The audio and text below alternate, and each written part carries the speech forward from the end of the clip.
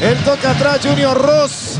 Ahora Casulo para meterle Casulo, Casulo, Casulo va pasando. Casulo y el segundo, Casulo y el segundo. Está, mira, está el segundo, está el segundo, está el segundo. segundo gol.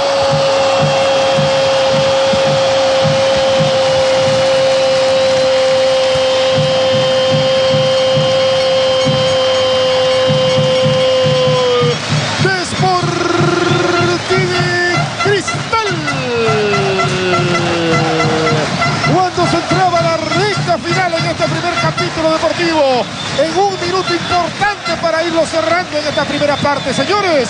Cristal y el segundo en una muy buena acción previa de Cazulo y después muy buena definición de otro que también ya se le abrió y está derecho al arco.